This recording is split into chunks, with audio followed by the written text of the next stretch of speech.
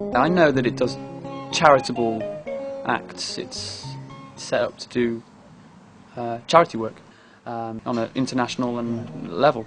Susila Dharma make me think on overseas projects mainly. It was something that Bapak said we should do. A, a slight feeling of guilt that I don't uh, donate more money to it. It means uh, the humanitarian projects of Subud. It's a charitable aspect of this brotherhood we belong to called Subud.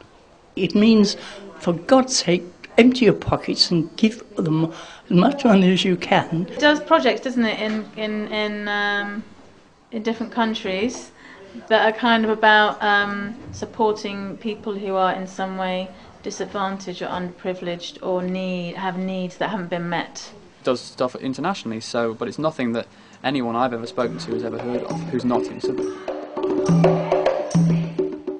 This is Susila Dharma Britain in action today, supporting a dance project for young offenders in Bradford.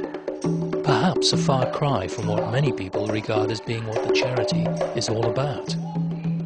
Susila Dharma Britain, it's, it's mainly the donations are coming mainly from British members, uh, and one would feel that uh, it would be slightly strange if we weren't trying to support uh, good works in this country as well. And uh, something like Dance United, you know, it's really touched a lot of people. At the beginning of, of the uh, the long-term project, we have what is called an intensive three-week performance project, where the young people come in, they learn a piece of choreography, and then they perform it in a professional venue within three weeks. So you're seeing us the day before performance. They're generally young people who are either at risk of offending or have offended or socially excluded in some way. It gives them a focus and a discipline, and it, the way that we work them, the standards that we demand, allows them to achieve things they never thought possible and no one else thought possible of them either. So the fact that we push them so hard and they get to an incredible place, it then starts to change fundamentally what they think as human beings. The small amount of money which we gave to Dance United last year, which was to help them to think about their the progression routes for their young people, how they moved on with the knowledge and experience that they gained from that experience, how they moved into the world with that, is being very useful.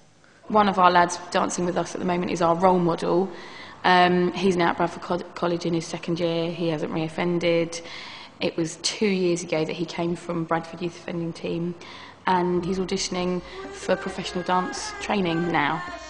While Susila Dharma Britain supports very visible work such as the Academy project of Dance United, how is the charity seen within the Subud organisation itself? Actually, Susila Dharma activities are at the very heart of what we do and need to be kept there. Susila Dharma is the window for others into Subud in one shape or form or another. This window provides a view which spans the globe, from a Susila Dharma supported orphanage in Indonesia through to a mine clearing project, education initiatives around the world, help for slum children in India, and the International Child Development Programme, which to date has been rolled out to over 200,000 families in South America, starting with a grant from Susila Dharma Britain and has now been adopted by UNICEF as part of their programme. The International Child Development Programme all started from a grant from Susila Dharma Britain of a few thousand pounds. So it's possible to see what a very small amount of money can do in a relatively short amount of time. As well as specific ongoing projects, Susila Dharma Britain is also able to channel one-off donations when disasters and emergencies around the world raise awareness of immediate need. Because donations to Susila Dharma Britain attract the bonus of gift aid, this makes giving more effective, and the charity helps target points of maximum need. This is done in close cooperation with the international arm of Susila Dharma, which is able to coordinate aid across the world, ensuring that help is maximised and focused. Some of the main projects that we've supported that perhaps we're most well known for supporting are the sort of Indian projects, the uh, Mithra and the Shraddha projects. And Mithra we've supported for a long, long time. And again, for relatively small amounts of money, we've been able to fund a school in the slums, vocational training for women.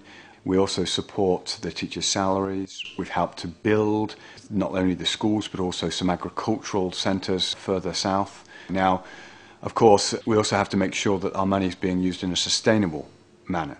And so one of the things that we've done in Dharma Britain is to move away from perhaps funding the sort of capital uh, things like buildings uh, and like re recurrent costs like salaries to really focusing on those elements of the projects which help those projects to become more sustainable.